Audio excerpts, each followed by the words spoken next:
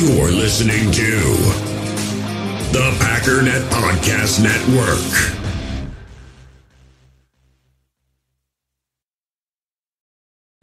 Does Monday at the office feel like a storm? Not with Microsoft Copilot. That feeling when Copilot gets everyone up to speed instantly? It's sunny again. When Copilot simplifies complex data so your teams can act, that sun's shining on a beach. And when Copilot uncovers hidden insights, you're on that beach with your people and you find buried treasure. That's Microsoft Copilot. Learn more at Microsoft.com/slash AI for all. Survivor 46 is here, and so is On Fire, the only official Survivor podcast. And we have a twist this season. The winner of Survivor 45, Dee Valladares, will be joining us every week. We're going behind the scenes of the biggest moments, the how and the why things happen, and the strategy and analysis you can only get from someone like me, a Survivor winner.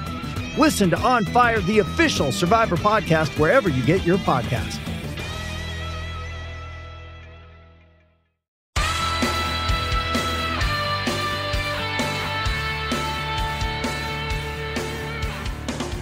Ladies and gentlemen, welcome once again to the Packernet Podcast. I am your host and resident panelist, as always, Ryan Schlip. Check us out online, packernet.com. Find me on Twitter, pack underscore data. Boy, oh boy, it's been a fun one. Um, this is the first, I guess, actual Packernet podcast since the trade has gone down. And so the, I guess, the only other thing that we need to accomplish today, because there really is no further context, um, no additional details, nothing. I want to go over what Brian Gutekunst said, and then we have to spend a little bit of time going over some of the things that some of the other people have said. We should probably start with Brian Gutekunst because I have a feeling I'm going to get a little worked up when we start talking about guys like Rich Eisen and uh, some of the other comments that have brought up about this trade and the nonsense that is being spewed out. But uh, yeah, let's start off with the Brian Gutekunst press conference. Um, couple different questions asked, a lot of questions about the trade process.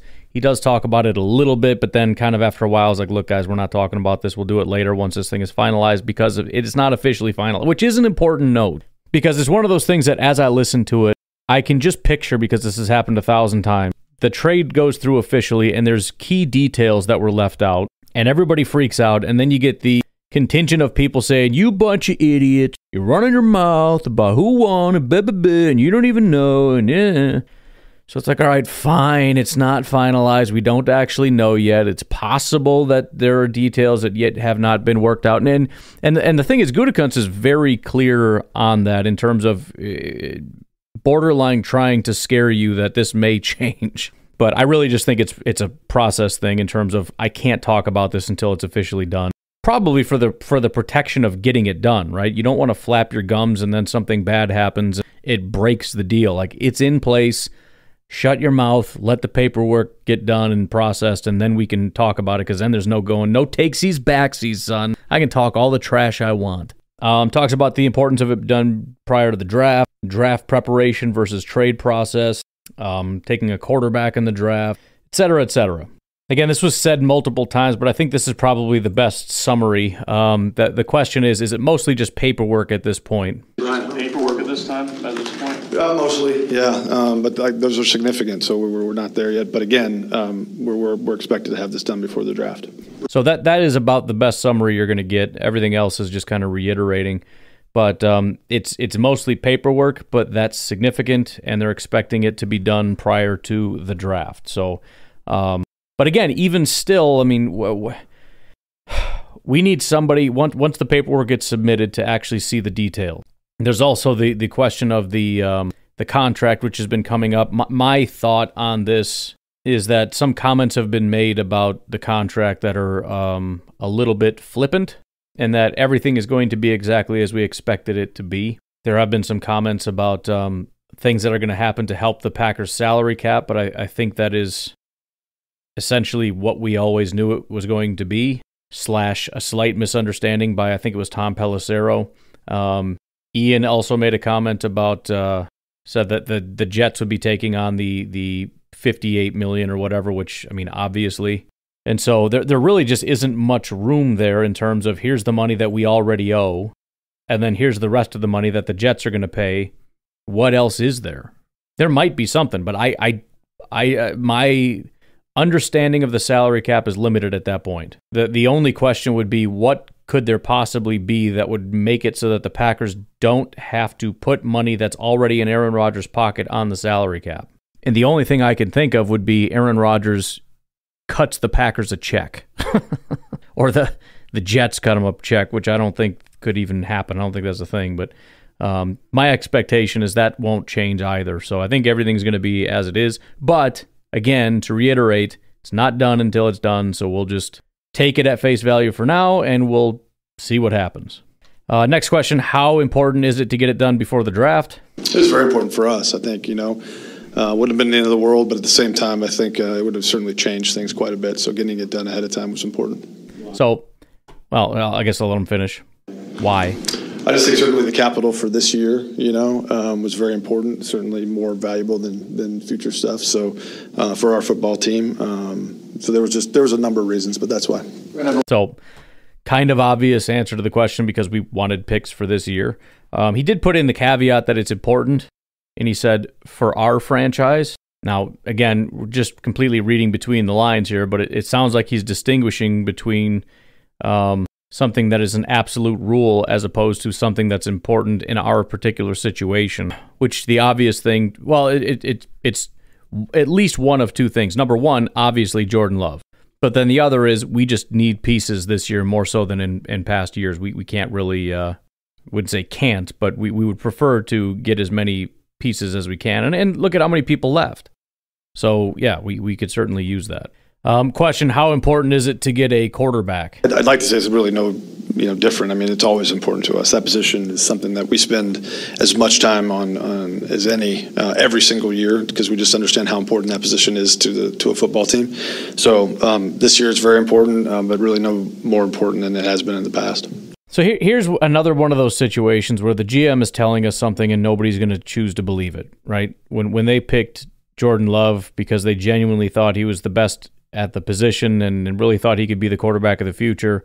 Um, a lot of people chose not to believe that that was the reality, and instead it was a slap in the face to Aaron Rodgers just because he wants to be a petty jerk or because they're trying to push Rodgers out.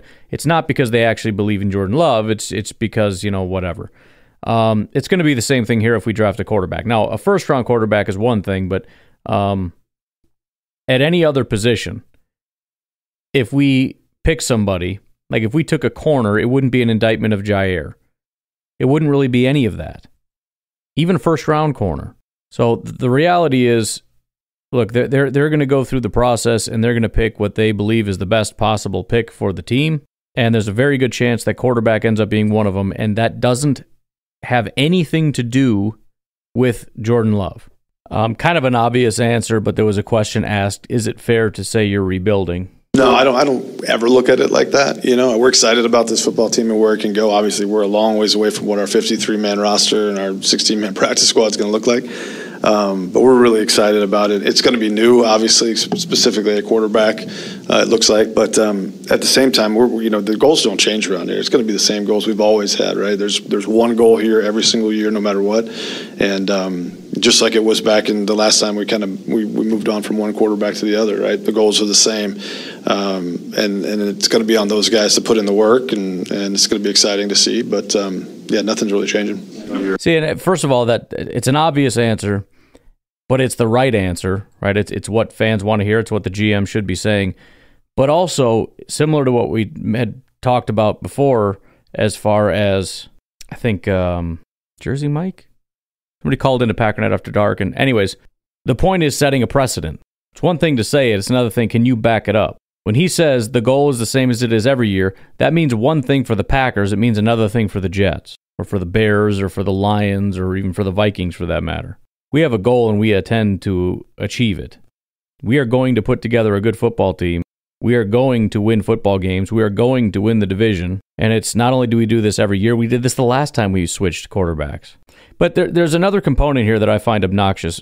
One of the things that I've mentioned several times that annoys me to no end is the fact that Jordan Love is the only first round quarterback that you're not allowed to expect to be any good at anything, which I think is insane. But also, where is this idea coming from that it's ridiculous to think you're not rebuilding. What what are we rebuilding? Are we rebuilding our offensive line? No. Are we re- rebuilding our running back room? No. Are we rebuilding at quarterback? No. We have our quarterback. Are we rebuilding at wide receiver? No. We might need to add a guy, but we're not rebuilding. What are we rebuilding on defense? Are we rebuilding our, our corners? No, we have that. You're rebuilding your edge rushers? No, we might add a guy, but no. Defensive tackles? No. Again, maybe add a guy, but we're good there. Linebackers? No. What are we rebuilding? What is it we need to tear down? Who are the old guys we got to get rid of and then start completely starting from the ground up and build through the trenches? We need a new offensive line, defensive line. We need pass rushers and corners. And wh- wh- where is this? I don't know where it is.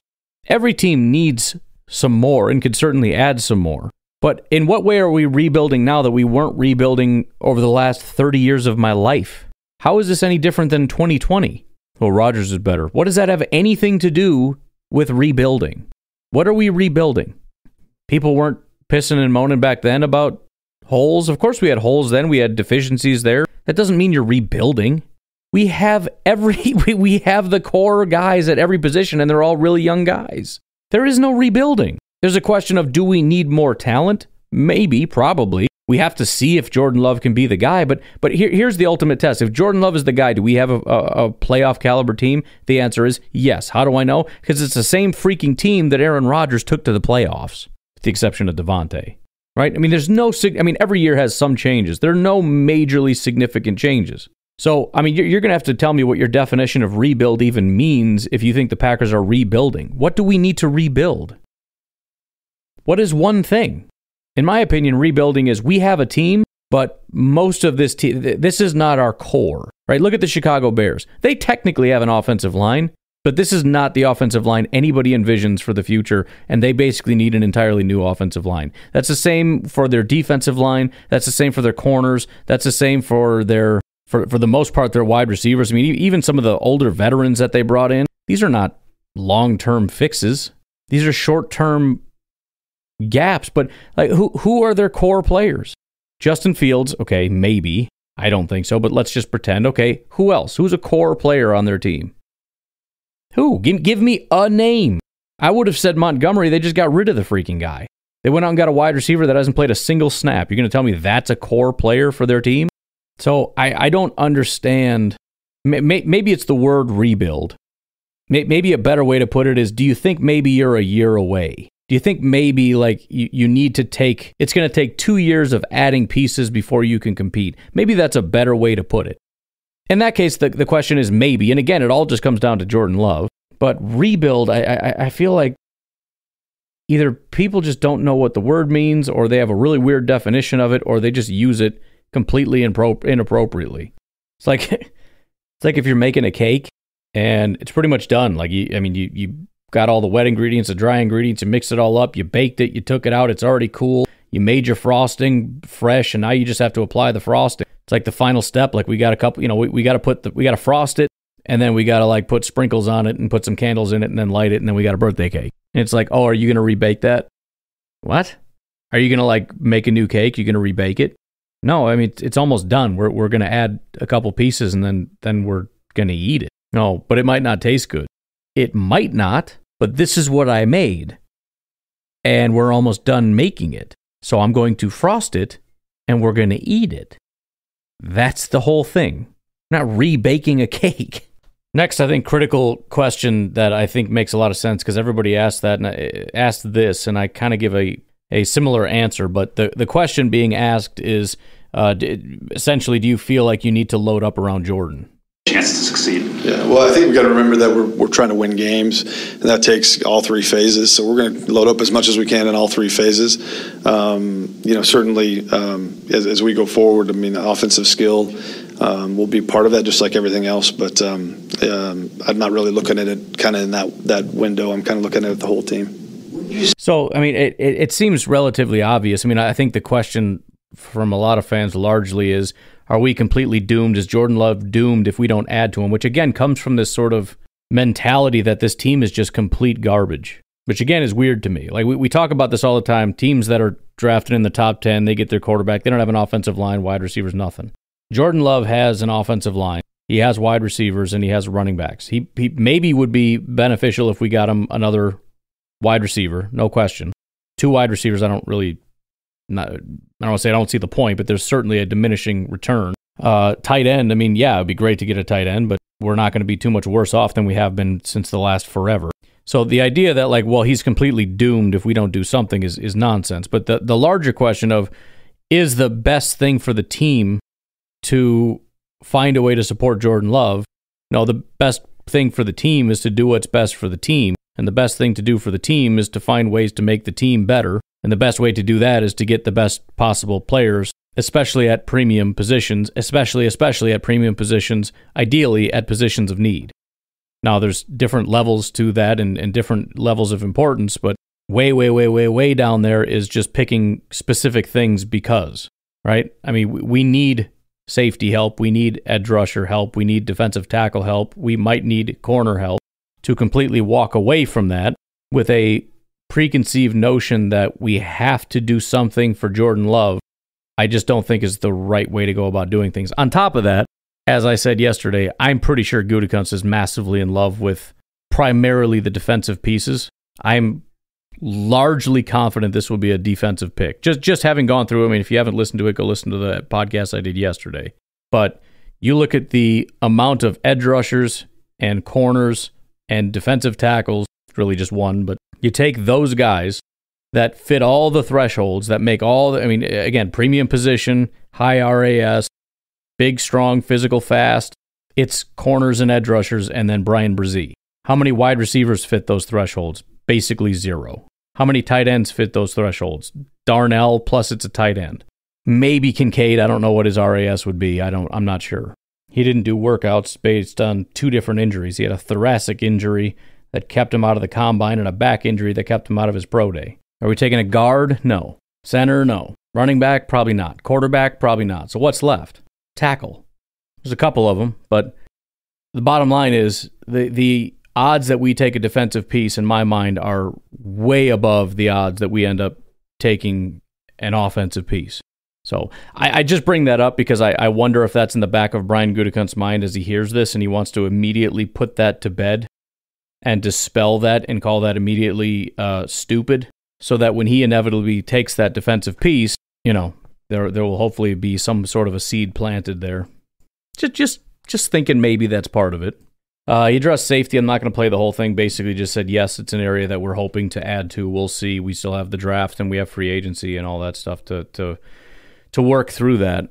Also, and and again, I, I don't know if we'd necessarily call these shots, but I, I mentioned I think yesterday that he's much more comfortable making comments about Rodgers that I don't think he would have said. I skipped one already earlier, but this would be kind of a, a little half a shot. Uh, earlier, he just kind of addressed how he, he, he brought up again talking about the process of, of moving on and why they decided to. He said, you know, we, we try to get a bunch of impact, uh, uh, input, wanted to get it from Rodgers, but he wouldn't uh, talk to me. So that was disappointing, he said, to be able to get his input on the situation, to be able to decide what to do moving forward. But then the next question is, you know, this is your first time drafting without having Aaron Rodgers on the team. You know, is, is this going to be a little bit different for you? Yeah, we had some of those off seasons. I wasn't sure, you know. So I mean, you know, I mean, to be honest with you, so again, j- just if nothing else, even if you don't want to call it a shot, because I don't know that it was necessarily a shot, it's just the openness. And I'm just excited to be able to hear more honesty, largely because, again, it drove me insane last year. The fact that nobody seemed to want to speak honestly about Aaron Rodgers, Gutekunst or Matt LaFleur, and it made me nuts. And we've got some much better examples coming up, but to just be able to hear, like, honestly, what the heck was going on, and just to be able to hear him say, look, it is kind of some BS, but, you know, it is what it is it's refreshing.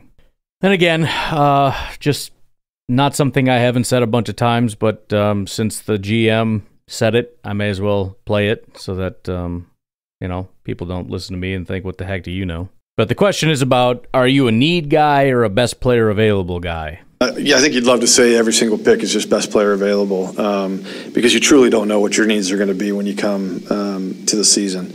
Um, at the same time, it's it's hard not to let those subconsciously or consciously kind of enter your mind what your roster looks at right at the moment as you're looking at these players, how you stack your board. I've always kind of felt as we stack our board through the last four months that um, because we really do um, evaluate for our football team, not the league, that subconsciously, if we have a need, it's going to factor in um, how we stack that board. So um, again, I think if we can, best practice is best player available. Just because I think by the time we get to September, October, November, what our needs are could be anything. So again, what what what has been my official stance on how this stuff works? Every team is both best player available and a needs based drafter.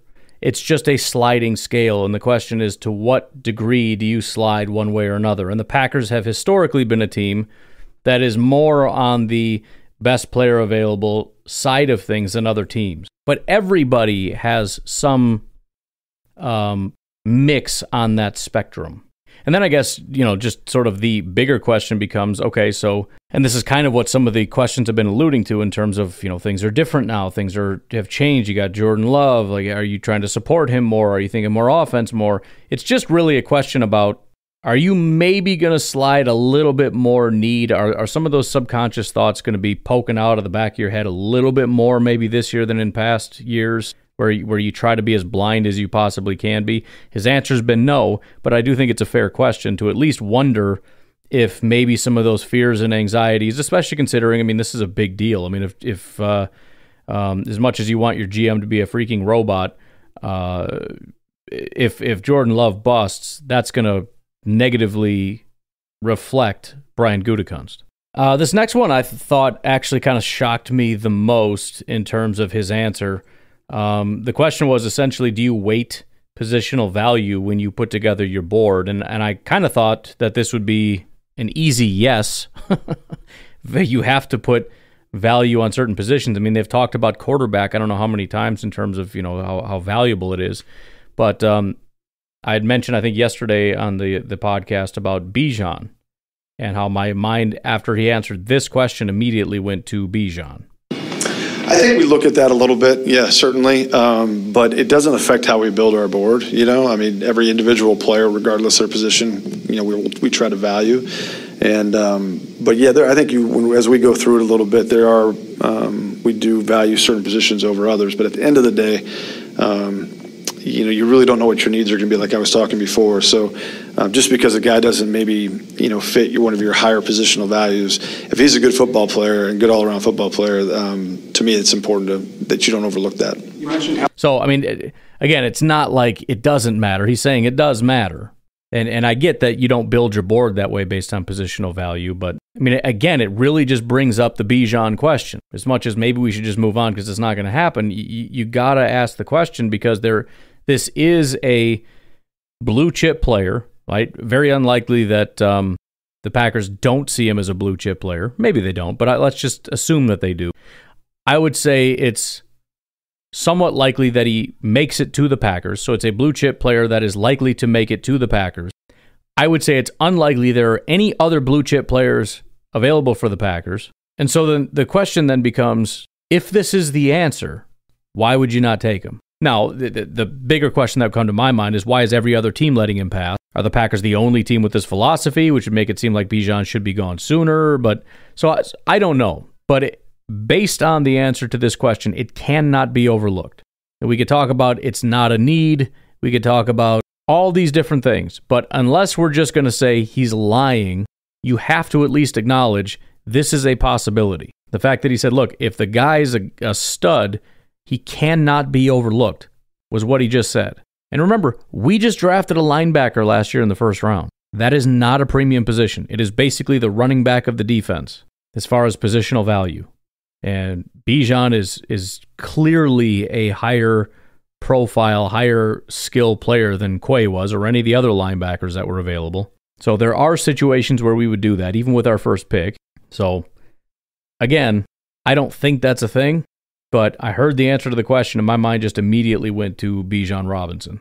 Uh, again, not going to play it, but he did reference the third round. A question was asked, like, what the heck is going on with that?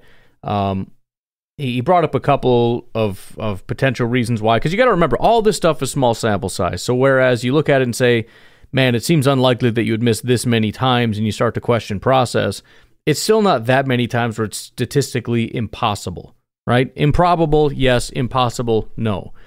So then you start to look at it and say, well, if you if you factor in these variables, it, could account for some of even the improbability. He mentioned uh, lack of opportunity, which I'm quite positive he's looking directly at Amari Rodgers with that. um, because of Randall Cobb coming back. Um, potentially some other guys. I mean, even Sean Ryan. You know, the, there's there's not a lot of opportunity for him to be able to get in and do do his thing. Um, or, or to be honest, Josiah Deguara, even with the amount of tight ends that have been there, um, he's been somewhat pushed down the depth chart. He'll have more opportunities this year. He also mentioned um, that's where the board gets the thinnest, which I don't necessarily understand that. And you know, I mean, is is it not as thin in the sixth round, or are you just saying that's where it begins to thin? Because then that doesn't really make sense because you're solid in the fourth round, fifth round, sixth round, seventh round, at least relatively. Um, but what he did say is we have been looking at that, and they've certainly been looking at it from the standpoint of analytics, and he's hopeful that they're going to have a better result moving forward. So they have made some changes to process based on analytics and are hoping that we'll have a better outcome. So I like that answer. That is like my favorite answer. we we just we, we got away from our scouting and our and our tradition, which has been again as great as I like the Packers process and everything. Clearly, the process is broken when it at least comes to the third round. So for them to step away from the uh, the the playbook at hand and to say let's dig into some data and some analytics and see where we can maybe make some tweaks and are going to apply that this year, that um, that makes me feel at least a little bit better about the third round. Not that I feel good about it; it's a curse until it's not a curse anymore. But um, I'm glad to hear that that was a thing. Other than no, that's just a complete fluke. You don't know what you're talking about. You're an idiot. Um, the next thing that I actually thought was really really interesting because um, when he the the first half of the answer led me to feel one way. And then the second half, with his little smirk on top of it, was like, oh, hold on a second. So this is one of those things. Go to YouTube, General Manager Brian Gutekunst's press conference. Go to about 49 minutes. Um, the question was essentially how important was that pick swap? Here's the answer. Should you happen to do that? Yeah, should I happen to do that? Yeah. Um, yeah, I mean, obviously, it, it, if you look at the trade charts, it'll tell you what it, how much that's worth and things like that. Um, really, I have no idea until I know who's on the on the clock when we're picking, right? So, that, so that's the first half, and that was kind of my thought, right? Because a lot of people are saying things to the effect of like, "Why would you do this?" And, and my thought is, why would you not? Right? It's like if somebody's willing to offer you ten additional dollars on top of it, take the ten dollars. Why would you not want to go from thirteen to fifteen? You don't have to have a plan. Like, you know, if, if they offered it, would you say, "Nah, I don't really want that"? That, that, that, doesn't make any sense. I took it because they offered it, right? Or because I'm trying to get as much as I can. I'd rather have 13 than 15. And so, yeah, he doesn't have a plan. He's just saying, I don't really know until we get there. But then he goes on to say this. Um, we'll see. Um, Big smirk but, on his uh, face. Yeah, if, if I were to do that, it would I wouldn't be doing it. Uh, I'd be doing it because I thought it was important. So, again, it's it's better to be able to see it because you got to see this smirk on his face the whole time. But when he answered the question, you got to say the reason he, he said that is because the reason he answered it in such a weird way is because the, in order to slip the question in, you have to assume that the deal isn't done. We don't know if that trade is going to happen. So it's sort of from the standpoint of if that were to happen. That's why he phrased it that way. So what he says is if that were to happen, if there were a, a, a pick swap, it would be because I felt it was important. And then he has a big smirk on his face. You dirty dog. what are you doing, Goot? So again, kind of flies in the face from in, in, my again. Would they turn it down if it was offered? No, but um, at the same time, he he's making it very clear that that every piece of this is intentional. And if I push for it, then it's because I really wanted it for a certain reason. Wink, wink, nod, nod. So again, head over to 49 minutes and push play and see what you think. A uh, question that's already been answered, but since, uh, again, we're not allowed to think Jordan Love is any good at anything and have to assume that he's some seventh round scrub that we found off the street somewhere. Um, question Why do you think he's ready? Should be uh, self explanatory, but here's Gutekunst. Yeah, I think the biggest thing, I think, obviously, we think we've seen steady growth um, through the, his three first three years here. Uh, I've talked about the challenges that he faced with you know no no um, preseason early and, and, going through some things. But you know, last year I thought through through practice were a number of times because of Aaron's injuries where he had to kind of take over the ones during practice and, and some of the competitive areas. And I just think you start him to grow and grow and grow. And um, again, he didn't get nearly as many opportunities as we would have liked last season during games, but when he did, he certainly answered the bell. And, and I think it's just natural maturation as a as a person too. Just um, again you guys know the what what is put on a quarterback in the National Football League's plate, a starting quarterback, is significant, and there's a lot to that, um, not only on the field, and they're going to go through a lot of challenges. Um, but I think we started to see him grow into that role and, and felt more confident. So he kept getting better, and then when we saw him play, he played really well, and also he's matured a lot to be able to what we believe handle the rigors of being an NFL starting quarterback. So is that enough for you?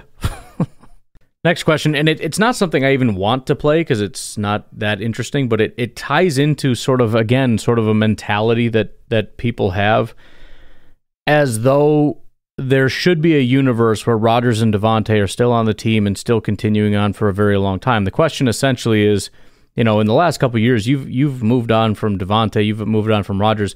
Is there a, a scenario where you actually could have envisioned this happening? Well, freaking duh. What did you think that he was envisioning? Rodgers would play until he's 50? What a stupid question.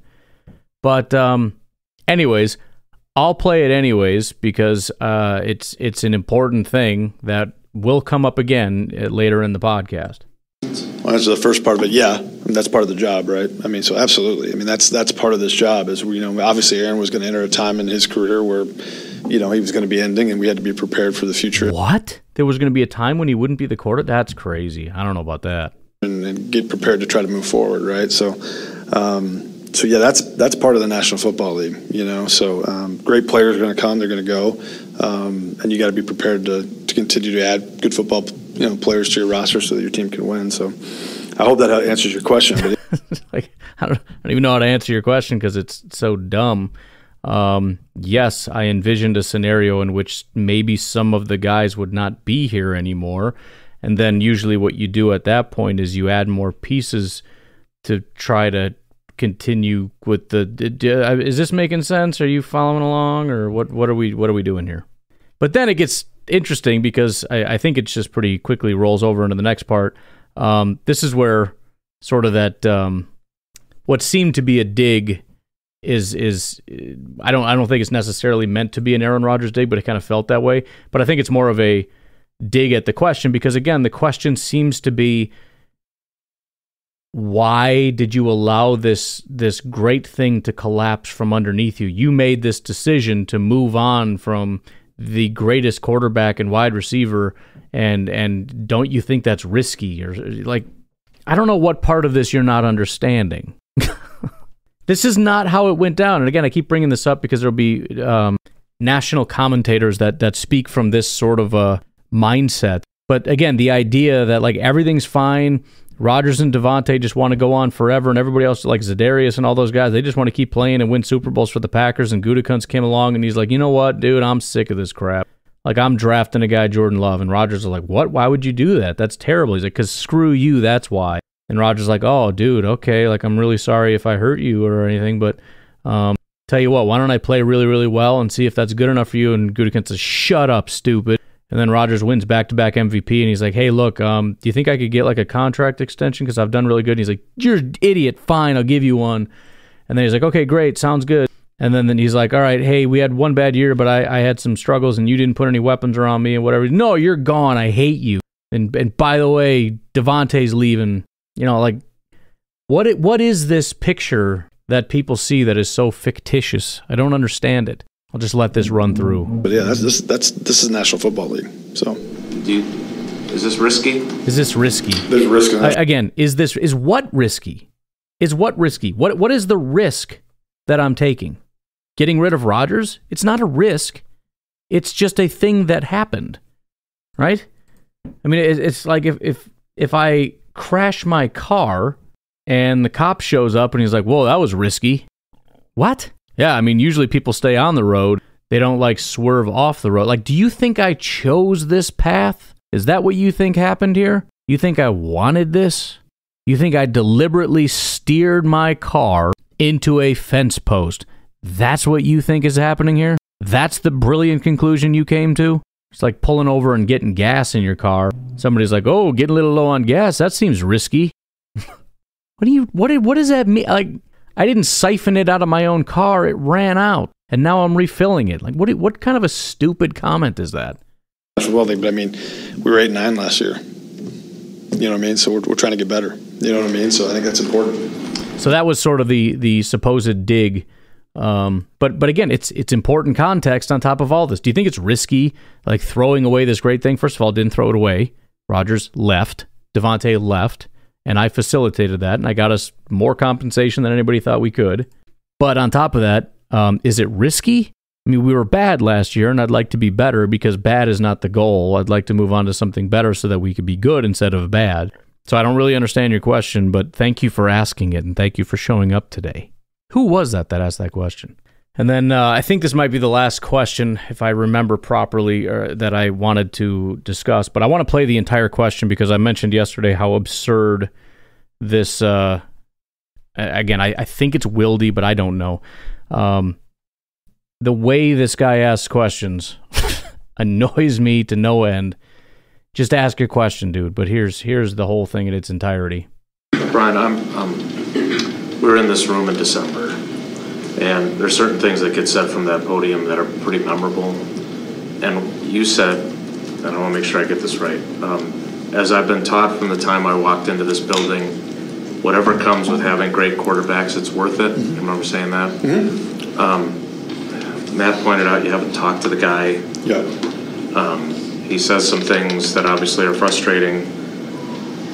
Were there times when you started to question whether it was worth it with him? No, I think again, it, you know, there's always issues with players that you go through, and um, I think we have a great organization that works really hard to try to give these guys the best opportunities to succeed.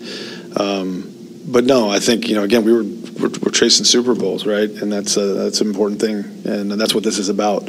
Um, there's it's not always going to be easy. It's not going to always you know go smoothly. You know, um, we were eight nine last year, and um, as we move forward, it was more about what we're going to do to get better. And, and So, I mean, again, he could not. He's he's taken a little bit off, but he could not be any more clear about this complete picture. Am I right? He what he's saying is we were willing to make some concessions. We were willing to put up with some nonsense because we're chasing Super Bowls, right?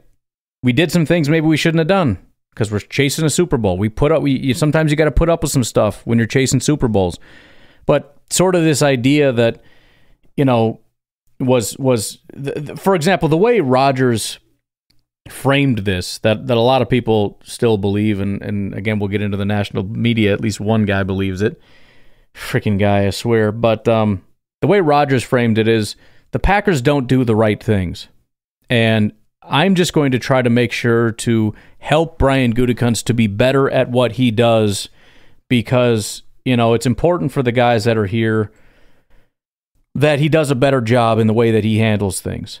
And then, you know, there, there was all these things about Brian Gutekunst flying out there to meet with the guy and they're working on communication styles and all this kind of stuff. And they came to certain, you know, uh, understandings of things. And it, it, it, the whole thing was made to seem as though Gutekunst acknowledged he was wrong and um, relinquished a lot of what he had done and, and allowed Rodgers to have a bigger voice and all this stuff because it was the right thing to do not because you know we're just chasing Super Bowls, even though this is stupid, stupid. But I got to put up with a drama queen that has ridiculous demands, but it's what you got to do because hey, chasing Super Bowls, right?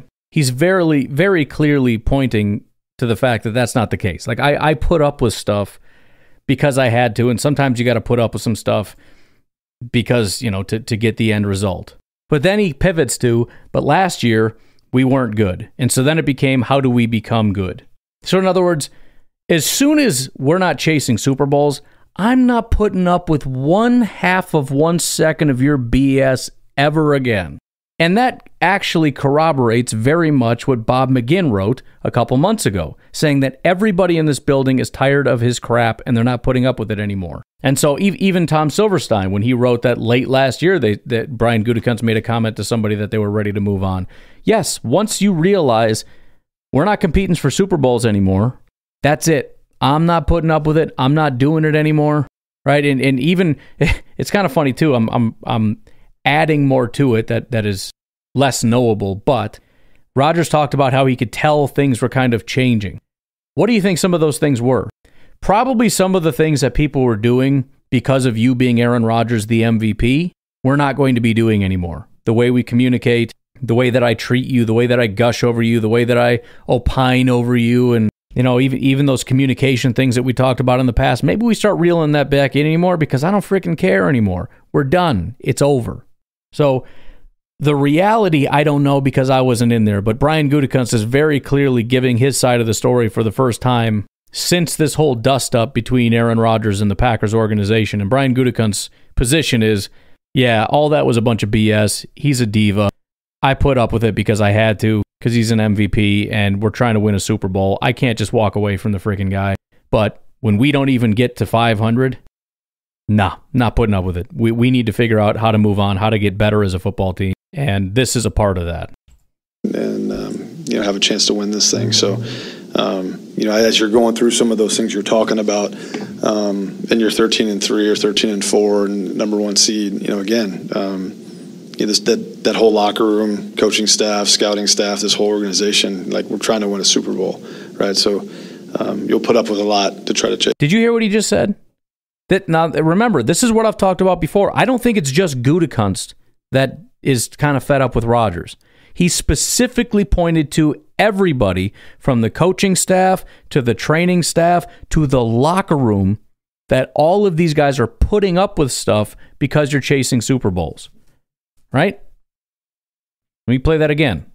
Um, you know, as you're going through some of those things you're talking about, um, and you're 13 and three or 13 and four and number one seed, you know, again, um, you know, this, that that whole locker room, coaching staff, scouting staff, this whole organization, like we're trying to win a Super Bowl, right? So um, you'll put up with a lot to try to chase that, and we will. We'll continue to. But um, yeah, it's always it's never it's never really easy. There's always difficult things.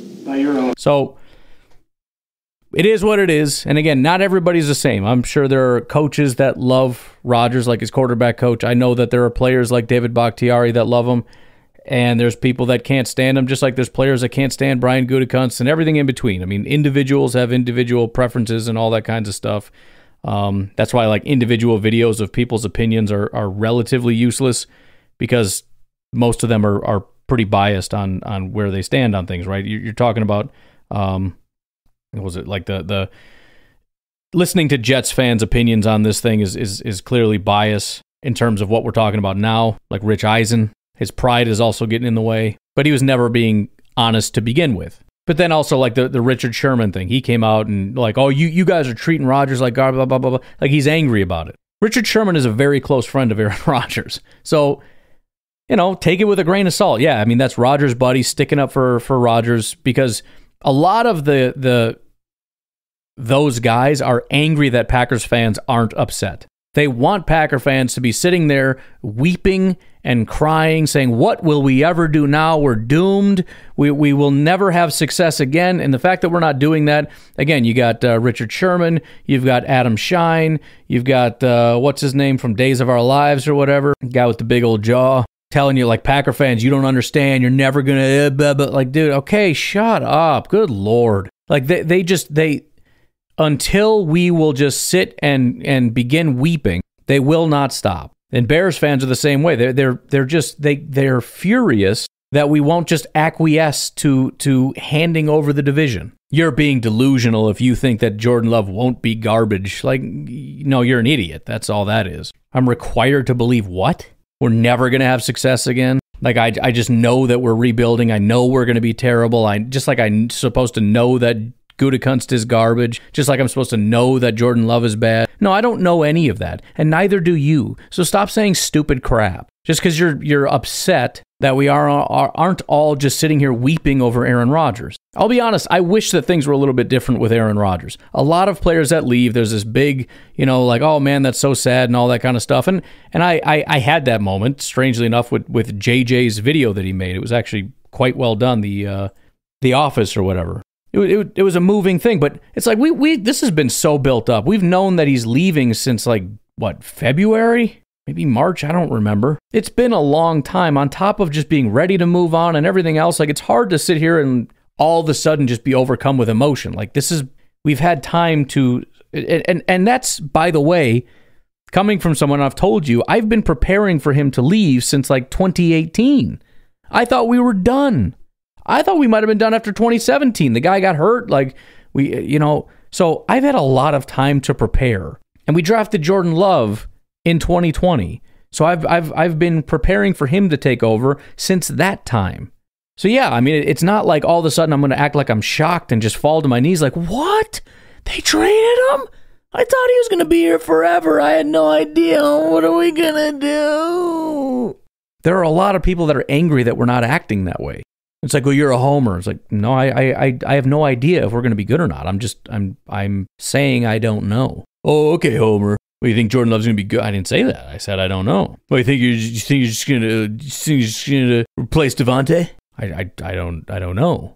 Do you know? Oh yeah, I know, I know. I, I've been there, buddy. I've been there. I've seen it. You don't know because you're a spoiled Packer fan. I know. I'm like, okay, you're all idiots. How about that? You're all stupid. Anyways, on that note, since I'm getting fired up, there was one more thing, but since we're already 44 minutes into it, um, essentially the I will summarize it as best as I can. You can go listen for yourself. It's about 58 ish minutes in. Um, but the question was like, hey, so you said you were going to change some of your communication stuff and whatnot. Like, is that just for Rodgers or like is that going to stick around? And he more or less said like, yeah, maybe some of that'll kind of stay, but for the most part, that was just to appease Rodgers. And now that he's gone, everybody can just suck it and I do what I want. Which again, Think how you want to think, but that's exactly what I want my GM to say. I don't want him beholden to the whims of people who are not GMs. I don't care what the quarterback, wide receiver, or anybody else thinks about the roster construction at all. Anyways, let's go ahead and take a break right here. Patreon.com forward slash pack underscore daddy is where you can support the podcast. Fertile Ground Ranch Discipleship Ministry is where you can support the uh, charity that we are supporting. Find them at fertilegroundranch.org. We'll take a break. We'll be right back.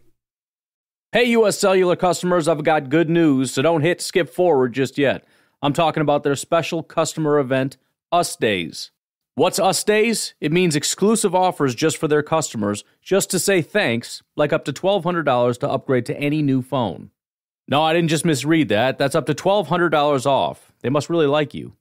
Us Days at US Cellular, exclusive offers just for you, just to say thanks. Right now, US Cellular customers get up to $1,200 to upgrade to any new phone. Terms apply. It's Kaley Cuoco for Priceline. Ready to go to your happy place for a happy price? Well, why didn't you say so? Just download the Priceline app right now and save up to 60% on hotels. So, whether it's Cousin Kevin's Kazoo concert in Kansas City, go Kevin, or Becky's Bachelorette Bash in Bermuda, you never have to miss a trip ever again. So, download the Priceline app today. Your savings are waiting Go to your happy place for a happy price. Go to your happy price, Priceline. Anyways, um, I want to spend the rest of our time um, just making fun of people for, you know, I don't know. I, sh- I should be nicer. But let's just say I have some corrections to make in terms of what a few people have said. I'm going to leave it at that. So I want to start with this. I mentioned it before, um, but here it is. It's only two minutes long, but it's it's Rich Eisen's take when he found out about the Aaron Rodgers thing. Again, Rich Eisen, a very anti-Rodgers person that has been saying the Packers have no leverage whatsoever. The Jets have all the leverage, and if Packer fans think the Packers are going to get anything, they're out of their minds because it would be stupid for the Jets to do anything, blah, blah, blah, blah, blah. Here was his reaction to finding out that the Packers got a second round pick this year, a, a swap of the first round picks, and a more than likely first round pick next year, and no give back. Here is his reaction to that. I had to pull over to the side of the road because some news just crossed, and I saw it stopping at a red light because I had to see why is my phone buzzing like crazy. Of course, I wasn't looking at my phone while driving. I don't do that. I'm safe. I'm responsible. And I know things. Like I knew this trade was going to happen. I told y'all the Packers had no choice but to send Rodgers to the Jets. you D bag. I know things. You know what? You were wrong about every single detail with the exception of one, and that is that the deal would get done, which nobody actually thought it wouldn't. In terms of 50 50, like gun to your head, is it going to happen, yes or no? Very few people would have said no. And then your conclusion, your summary of all this is the Packers had no choice but to do it. If they had no choice, why did they get so much? Why did the Jets give up more than a fourth round pick in 2025 for Aaron Rodgers? Because you don't know how to come to conclusions other than to make yourself sound a lot smarter than you are, which is ironic because you're making yourself sound like an idiot in your attempt to make yourself sound smart. What do you mean you knew it all along? You've been wrong the entire time. And now it's happened. Yeah. Aaron Rodgers is a New York Jet. Let me just say that again. Aaron Rodgers is a New York Jet. Yeah, he's so excited coming from the guy that's been mocking Aaron Rodgers for an entire year, or, or uh, basically longer than that, ever since the vaccine thing came out. He has been mocking the guy. He can't stand the guy. But now, all of a sudden, he's pretending, I love it. He loves Rodgers. He loves that the Jets did this. He loves that it's done. And he was exactly right the whole time. He is so full of crap. Now, is this going to work out? Who knows? I know the Favre thing was a disaster. Rodgers is a different player. And guess what? It's better than the alternative. In a big way. Let's see how this one works out. Put the Jets on a totally different plane of national interest. And yeah, I just used the word jet and plane in the same sentence. Not my first rodeo. Yeah, Plus, genius. I'm pretty giddy. Two things. First of all, I do like telling folks that something's gonna happen and then it happens. Wow. Wow. No, I, I, we're all very impressed that you said that you think that this deal is going to get done and then it got done. No, very impressed with you. I do like being right, but one thing Yeah. I like more than being right I do too, but I like when I'm actually right about stuff, not stupid crap, right? And I also tend to have a habit of, of admitting when I'm wrong about stuff, unlike freaking you. is that Aaron Rodgers is a New York Jet. What's funny is you weren't right about anything, and you actually don't like this. I'm sure that you like the fact that your team is probably, I don't want to say irrelevant because we constantly have to hear about the Jets despite them being stupid and garbage because uh, all of you people are Jets fans. But, um, but the fact that you actually have a chance at not sucking for the first time in a long time, uh, I'm sure that excites you. But uh, yes, the, the the universe is punishing Rich Eisen for some reason. I don't know what it is. I guess I should be happy about this because this is this is a guy who is absolutely miserable right now. The Jets gave up way more money for a guy that he freaking hates with with the passion of a thousand suns because he chose not to get vaccinated. And now that guy who you've been mocking and ridiculing is your quarterback, and you have to sit there and pretend that you freaking love it and that you love the guy, and you can't make fun of him anymore. So I should I should actually be much happier about this. I guess I am happy. This is this is karma to the nth degree. This this is such a beautiful thing. Watching Rich Eisen and the rest of these guys who have hated Aaron Rodgers with a passion. I mean, the entire Jets fan base probably hated the guy. The the, the New York media absolutely hated the guy. And now you got to sit there and pretend you love him and pretend that you love the compensation. Sucks to be you, dude. Best of luck to you. Arrogant freaking guy. My goodness. But, anyways, that was the one I told you about. Rich Eisen, 28 minutes ago, from my vantage point, dropped this video. The words I love to say into a microphone. I told you so. okay, I knew this was going to happen. How many times? Oh my gosh, this thing could go what a- into the what a summer. thick limb you're going no, out on. No, no, I no, mean, no. hey. This could go into the summer. The 49ers might swoop in. come on. Rodgers might change his intentions.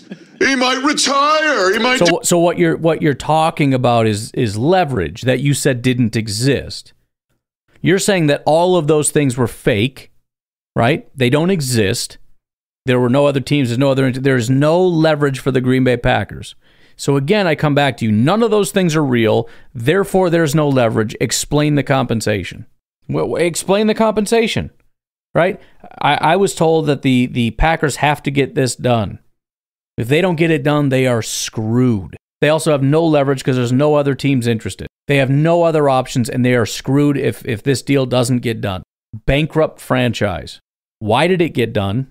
Why did it get done so quickly? Why did it get done for so much? The fact that you think that this proves anything regarding anything that you've been saying is shocking to me. And again, I, I've been saying I don't buy the 49ers thing. Uh, I'm not talking about that specifically, but more generally, no leverage, no options, Nothing. Everything you've been saying is true. Explain the compensation. He doesn't want to talk about the compensation. He just wants to talk about the fact that it got done, and somehow that proves not only that he was right about that, but he was right about everything, including the leverage. Uh, before we get to any super crazy ones, I did want to highlight this one as well, just because uh, although there's nothing horrifically bad about this, it's still sort of this mentality that like, oh, just calm down. It's we kind of already knew, like everybody, and it's just in my opinion, it's blatantly false. This is what Daniel Jeremiah's instant takeaway from the trade was. What's up, everybody? Uh, I'm here in Kansas City for the draft and uh, doing a bunch of radio interviews. Quite honestly, I was uh, just in between interviews and jumped on Twitter and was going to see if Yu Darvish's hamstring was okay. Yeah, you know, reasonable thing to do. And then I saw the Aaron Rodgers trade. So I uh, want to give you some reaction on that one real quick. If you look at it here, Aaron Rodgers uh, the 15th pick and the 170 pick. And then uh, going to Green Bay, they get the, the pick swap there 13, 42 in the second round, 207, and a conditional two next year that could go to a one. Uh, I see a lot of people kind of you know, having strong takes on this, or this team got fleeced, or that team you know did well. I actually think it's it's pretty fair, and I feel like it's what we've talked about for quite some time. Uh, we talked about a two this year We talked about a conditional pick next year that could be a one uh, contingent on playtime or performance. And now, if this is what everybody's been saying, then that's fine. And I apologize for missing it, but I haven't been seeing that at all. Based on playtime or performance, show me one person. Again, maybe I just missed it. It's entirely possible that I've just been looking at the wrong people. That said, going to be a two this year, and then a two next year, that is likely to become a one and no give back. Because everything that I have seen is more or less two this year, maybe a two next year, minus something if he doesn't play, which he isn't likely to play. Who has been talking about a conditional second round pick that is going to become a first round pick? And it's also something that is probably, what, 80 to 90% likely to happen? I haven't seen that. So I don't know. I'll I'll have to go look. I mean, Jeremiah's more of like the the. I mean, I guess it's technically draft stuff, but it's not like scouting prospects or anything, right? Because that's kind of his background is more of the scouting side, not so much you know NFL commentating stuff. Not that that's a thing that you, whatever. But like I, am I'm I'm looking, and all, all of his articles are about the the the draft in terms of mock drafts and all that kind of stuff. So maybe he's talked about it on his podcast. And I, I, again, I've just missed it. And this is what everybody's been saying, or what he's been saying. I have not heard that. I have not seen that in any of the articles that I've been reading. Really, that's what this is. Um, in order to get the deal to the finish line, to me, on the outside looking in, it looks like what we would call a little sweetener was added, which is just okay. those are the real parameters of the deal but let's just get a little sweetener. So sweetener is we'll swip, uh, we'll pick swap 15 and 13 not real difference there. And then you have 170 and 207. Not much difference there. So I think this is exactly what was a fair deal, what we talked about previously about what would happen. It's really a two this year and a conditional two that could go to a one next year, and then just a little sweetener on top. So I thought it made sense for both teams. Made sense is one thing. This is what we've talked about is another thing. Demonstrate to me that that's what you said, and, and, and I'll, I'll believe it when I see it. But I have seen two and then two minus, not two and then one plus. Because that's what we're talking about. It's one thing to say, yeah, we said a two and then a two. Okay, but you said a two and then a conditional two that is unlikely to become a one and a give back, and you didn't mention anything about a pick swap. I'm not saying Daniel Jeremiah, I'm just saying from what I've heard. And, and the, the reason this annoys me is because I'm not sitting here trying to say that I, I, I don't think I've ever said the word fleeced, at least maybe on Twitter I said it as a joke or something, but I don't think anybody necessarily got fleeced because it is relatively close. I mean, maybe they got fleeced from the standpoint of I think it's ridiculous to even offer the low ball offers. But it just bothers me from the standpoint of trying to push a narrative that just isn't is just blatantly untrue. Why are you doing that? I, I, I don't understand why the consensus isn't we just look at the information and then comment on it properly. Instead, we have to reframe things from a standpoint that is just completely false because we want the conclusion to be a certain way, not we care about the conclusion, not the reality.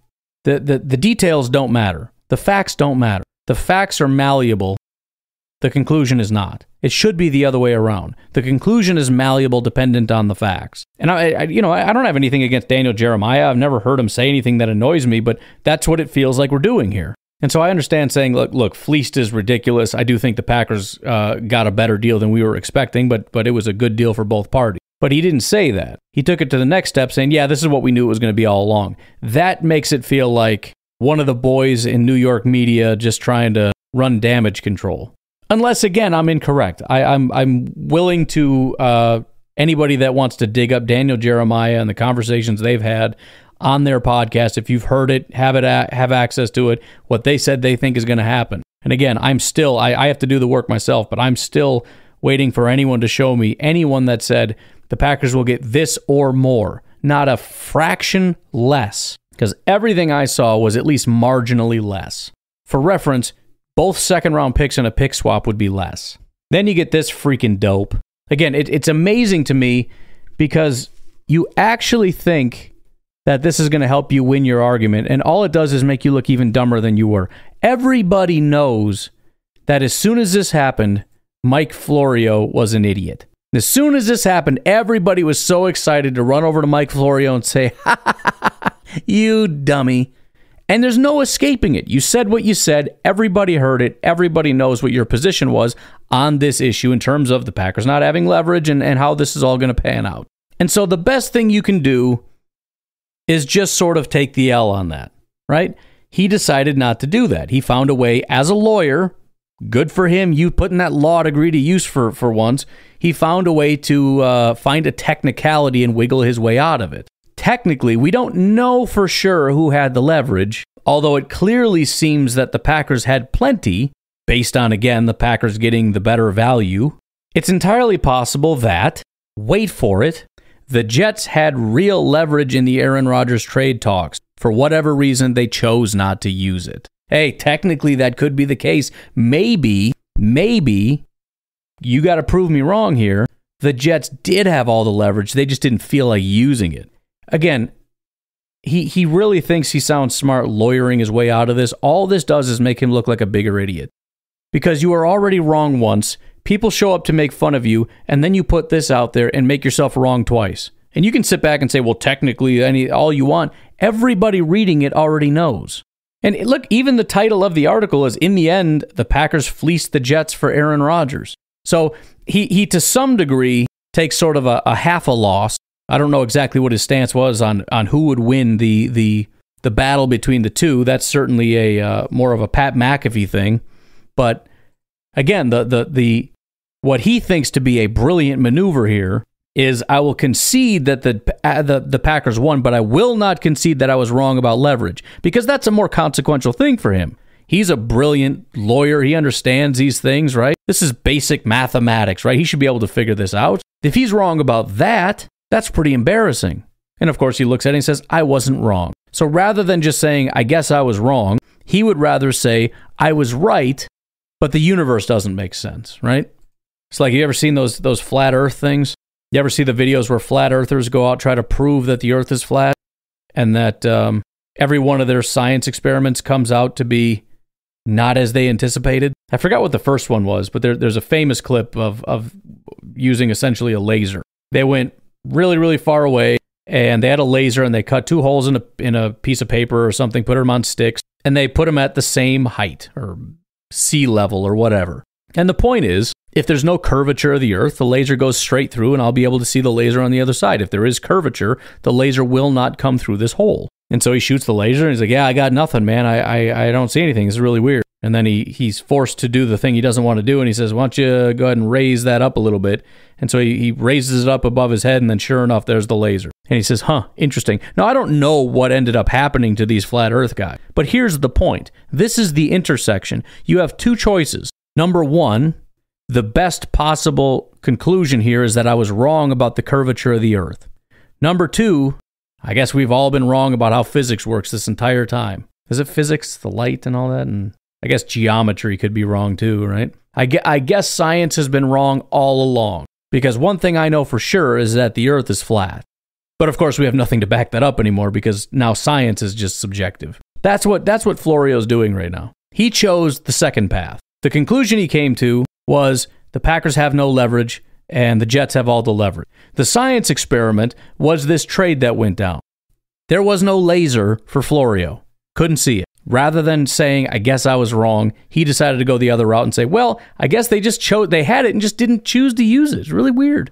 Several weeks ago, we argued that the Jets should act like they were from New York or New Jersey. Instead, they did a deal that wouldn't have even qualified for a set of steak knives at uh, Glenry Glen Ross. I don't know what that steakhouse or something. Glengarry Glen Ross. Sorry, Jets fans, but your favorite team got fleeced. They had leverage. They just chose not to use it. Man, life is so much easier when you just don't have to run away from all this stuff. When you can just accept the reality. You know how much easier this is to try to figure out the situation when you just accept the facts for what they are? For some reason, they chose not to use it. So now you got to come up with a reason for why? That's a lot of work, man. And then he just regurgitates all his own points as though this is, in other words, I'm gonna I'm gonna say everything I said before to prove that I was right before in the past. They chose not to say to the Packers, "This guy is never playing for you again." What are you gonna do? Pay him 60 million to sit on the bench? We're in no hurry. He knows the offense. He doesn't like to participate in the offseason anyway. We can do that deal at the start of training camp. We can do it at the start of the regular season if need be. Right? No, no. We heard you say that the first time, and that didn't happen. And your conclusion is they just felt like giving up way more than they needed to. Okay. He does bring up a really good point in this article, though, that is quite funny in terms of the the how important that flip swap is. Right, Daniel Jeremiah, that doesn't mean much. Even the trade charts, like I don't know, it's like a hundred, it's like a third round pick, which is not nothing, by the way. I mean, maybe to the Packers it is, but a third round pick is not nothing. But who did they switch with? The Packers. But who did they go behind? The Patriots. They were one spot ahead of the Patriots. Now they're one spot behind the Patriots. What's going to happen when the Patriots take a player that the Jets really need? Patriots end up taking that offensive tackle that the Jets needed. Oh, is that going to sting? So, anyways, there's that conclusion from that genius. And then finally, we've got a guy that I swear I didn't, I don't know anything about the guy. I know his name, but I, I couldn't tell you a single other thing about him. And then he made this ridiculous video a while ago about the Aaron Rodgers situation, and it just set me off because like, this is the dumbest crap I've ever heard. Well, he's back for round two, basically saying the same thing just because he's a freaking idiot. Yeah, just still have an appreciation for him. What a soundbite. Players like that don't come around very often. You think, Brian Gutekunst? You did this, Goody. You did it. You ruined the relationship with Aaron Rodgers and traded away the greatest Packer of all time. Who is it, by the way, that taught people that in radio you have to have a weird, like, stupid sounding voice? You did this, Goody. You're the one who did it. what is it? Is that like appealing to people? We people want to hear that sound when they listen to the radio. Don't you know? It's like uh, Ferris Bueller's Day Off when uh, what's his name does the Abe Froman voice. You did this, Goody. You did that. It's when I do that voice to try to make fun of people for how stupid they sound. That's his real voice. He actually sounds like that. Apparently, he's the voice I do when I try to talk about how stupid people sound. Again, this is what I was talking about before in the Brian Gutekunst press conference when I said we'd be talking about this later. This idea that somehow Gutekunst chose this path. You did this. You chose this. You broke the relationship. You freaking pile of horse crap. That's kind of mean, but how stupid do you have to be?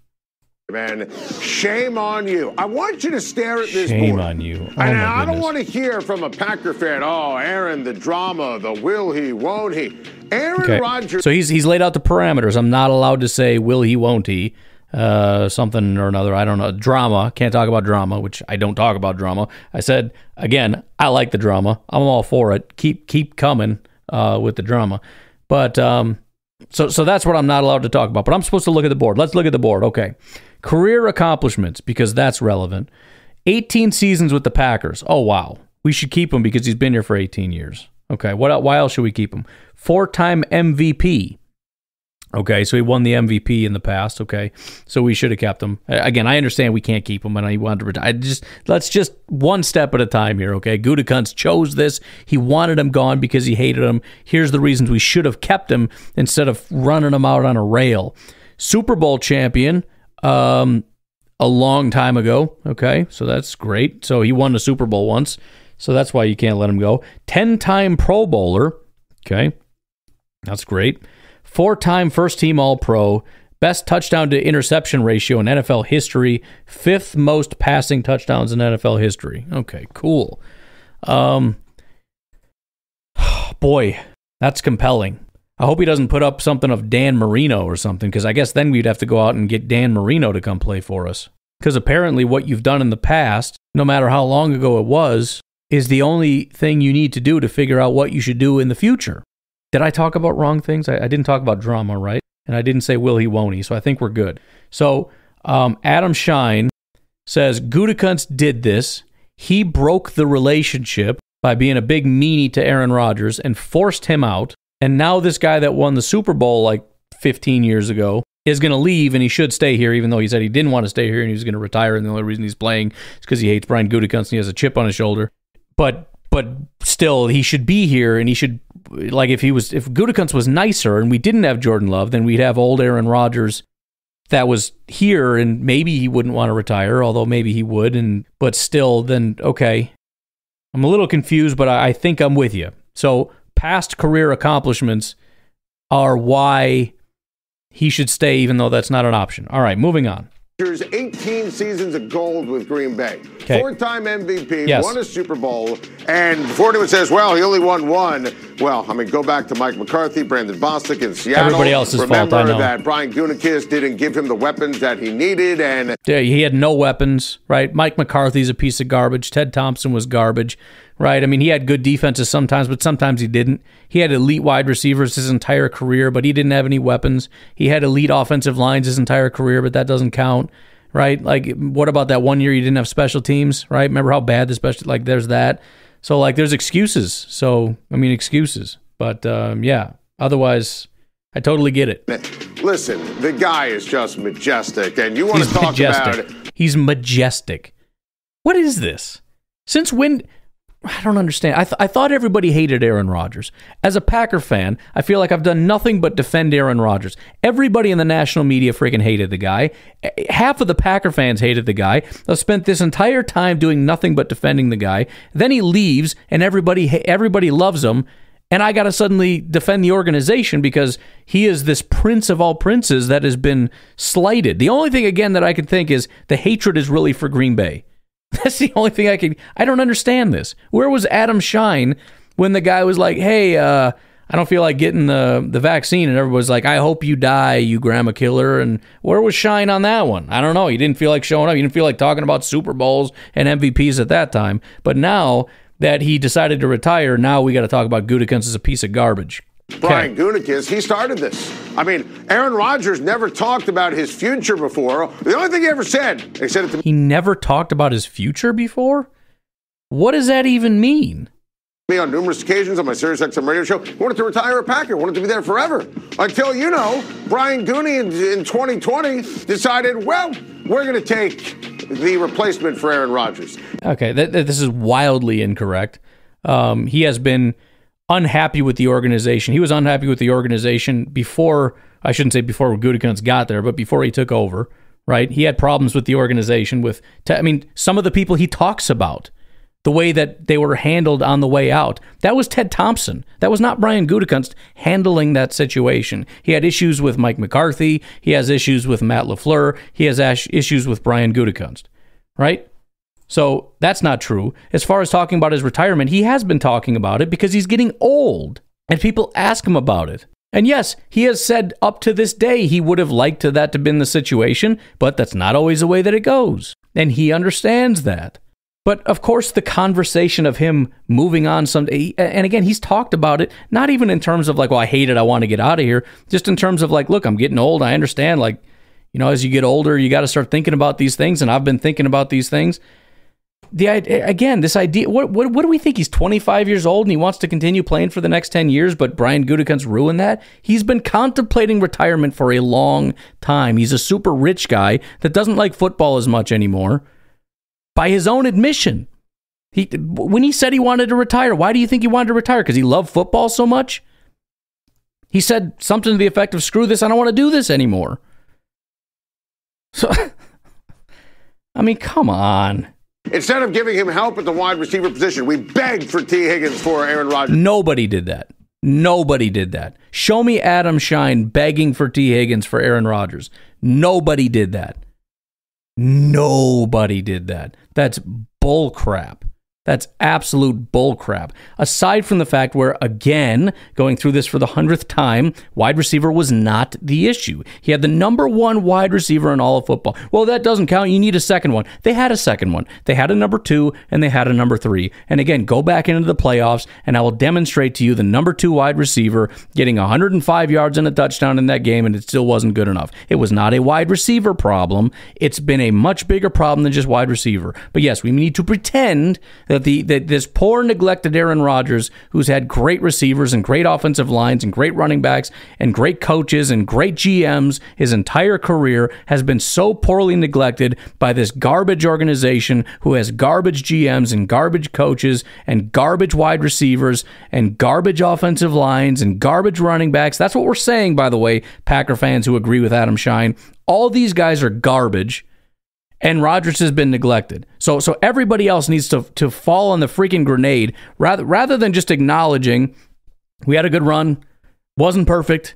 He did his best. They did their best. It was fine. He certainly had good enough teams to win with. He certainly had opportunities to win with. Certainly wish it would have been a little bit better with defenses here, special teams here, this, that, or the other. I get all that. Rather than just acknowledge, no, everybody get the entire team the entire organization, every coach, every G, everybody needs to jump on that freaking grenade for him. That's it. That's Schein's position. We begged for Michael Pittman. Instead, Jordan Love. So it's like in kindergarten. No, it, it okay, it's like kindergarten. Yeah, it is like kindergarten where everybody's lying all the time and pooping their pants, which is what you're doing. You're lying and you're pooping your pants right now. You started it. And then Aaron Rodgers responded by he, he accuses people of being in kindergarten, and the next words out of his mouth, "You started it."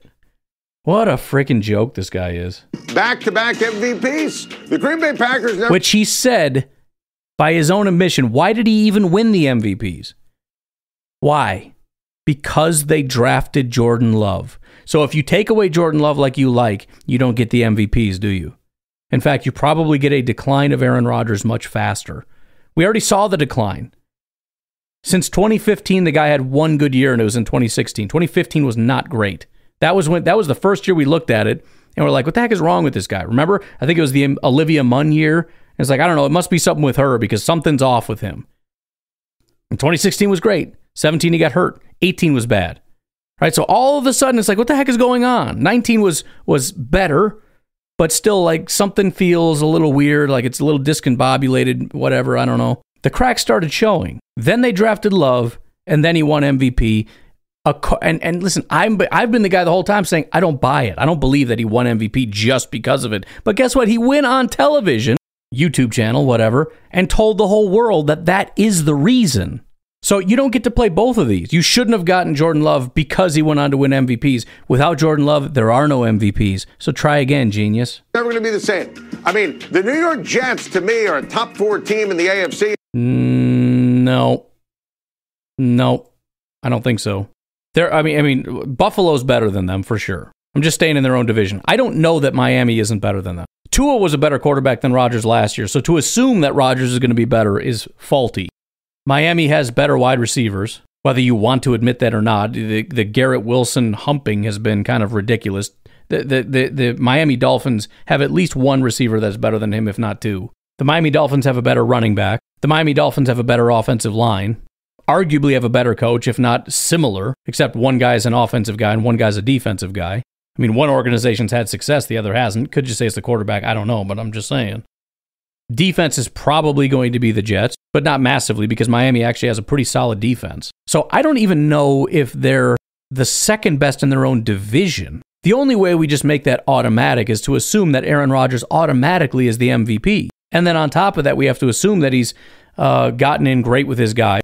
Oh, by the way, he's the MVP with a terrible offensive line, which I don't see exactly how that happens, but let's just pretend. So he's the MVP, right? Because, yeah, they, they, they have a couple draft picks. And then, uh, as everybody knows, rookie offensive linemen just come in and are dominant. I get it. And, um, yeah, Allen Lazard, who the Packers, by the way, garbage organization for allowing Allen Lazard to be the number two guy in Green Bay. In the with the Jets, you think he's not the number two guy there? You're out of your mind. I don't care who you think the number two is. I'm telling you, it's Allen Lazard. He might even be the number one. We'll see how much of a, a relationship Garrett Wilson and Aaron Rodgers can form. So I know the Bills and the Chiefs are ahead of them. Cincinnati is very likely ahead of them. I think Miami might be ahead of them. So rather than looking up the rest of the teams in the AFC, I'll just assume that that's good enough.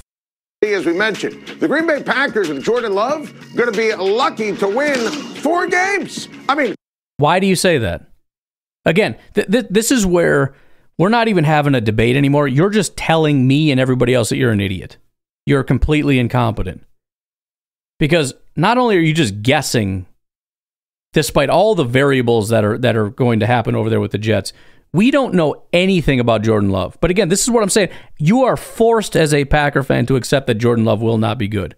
The Packer fans, the, the, the Packers with Jordan Love will be lucky to win four games. Why do you say that? How do you what what do you tell me one thing you know about Jordan Love as the starter for the Green Bay Packers? What's one thing you know about him, about him and his competence level? The, uh, the, the it's it's shocking to me how many people will go back to his college career to try to make some kind of a point. Like we we have to disregard the Eagles game, but yet we can go back to uh, freaking Utah State against LSU with a, a brand new offensive line and, and a brand new coaching staff and everything else like that. That matters. But his actual growth that we saw as a Green Bay Packers quarterback with the Green Bay Packers, that needs to be disregarded. Amazing. look at the numbers. Jordan Love should have never been a first round pick. What what numbers? This is this is his 2021 regular season stats uh, week 9 against the Chiefs. That's what he put up. This is this is what we have to this is it. Uh, 19 of 34, 190 yards, 5.6 yards per attempt, one touchdown, one interception. Justin Fields has been playing for two years. I'm not allowed to judge him. The Kansas City Chiefs game, where he was thrown into the fire last minute and expected to be the guy, under pressure the entire game. I'm talking 0.5 seconds before somebody's in his face. And we, by the way, almost won the game. And and that's the only. Why didn't he put up the stats for the Eagles game? Th- th- th- This is this is how you know this is not an actual intelligent person making an intelligent argument. This is again about the conclusion is what matters. The facts are malleable. We can alter the facts. That's fine. There is zero reason why first of all that you would ever even put up these numbers as evidence of anything because the small the smallness of the sample size is hilarious. I can go back and find a, okay, eh, we have to judge Aaron Rodgers with the Jets based on what he did against Detroit last year. And that's a lot more than than than this. There's more numbers here. But the fact that he skipped over the Eagles game and then went back to the Chiefs game and said he shouldn't have been a first round pick because of that is freaking hilarious. Based on what? Based on what? You absolute hack. This was a project player. He was available last year via trade, yet teams that need quarter. Oh. He was a project player. Yeah, he is a first round project that is considered a long term project. Good thing he spent three years for the Packers behind Aaron Rodgers, right? You freaking walking dunce. Quarterback. Nobody in a weak quarterback draft one year ago. No one wanted. And it, what, what- he was available for trade. Zero people have ever said that that he was available for trade last year and nobody wanted him. Zero people have ever said that. Adam Schein is the only person that's ever said that. to trade for Jordan Love and Rodgers coming off of back-to-back MVPs because Jordan Love has no value. So listen, you saw the Chicago Bears tweeted out today a picture of a bear waving goodbye. Rodgers owns Chicago. There's a party right now going on in fan bases all across the NFC North, all across the NFC. The Green Bay Packers. Every- What what does that add to the conversation? Of course they're excited that Aaron Rodgers is gone. He's been a living nightmare for them. And again, they're playing the same stupid game you are. Basically saying, well, we know Jordan Love is garbage just because we feel like saying that we know that. Therefore, we're going to throw a party about it. But to pretend as though we're having some kind of an actual intelligent discussion is laughable. Every single year with Aaron Rodgers, the upside was to go to the Super Bowl mm-hmm. and win it. Brian Gutekunst decided to trade and torpedo the relationship, starting with that draft pick in 2020, with the best, most accomplished player in the history of the organization. Mark Murphy it's hilarious that he made this horrible decision to torpedo a relationship and then still got all of that production out of him anyways.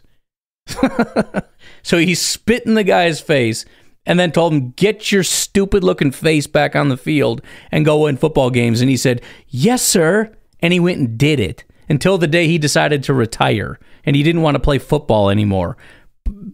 Again, words out of his own mouth. He doesn't want to play the game anymore. He doesn't want to do it anymore. Not, I don't want to play for the Packers anymore. He doesn't want to play football anymore. And then we end up getting value out of a guy that wanted to retire by pissing him off again so that he goes to the Jets and then we screw the Jets over and get compensation that we shouldn't have got from them. You want me to be mad about that? We drafted a quarterback to replace a guy that was on the way out, that was disgruntled, that was not playing very well. That's part of the game. Calling that torpedoing a relationship is freaking childish. But I, I, I, guess I appreciate you acknowledging that Aaron Rodgers is a bit childish, that he is not mature enough to be able to handle that. The basic reality that your job is not, which, by the way, Rodgers, he's the one that had said these words out of his mouth. As long as he plays well, his job is not in danger. And he said he wasn't scared. So, okay, there you go. He didn't choose to torpedo a relationship, he did the baseline minimum expectations of a GM. He made Rodgers, mad. I don't give a crap.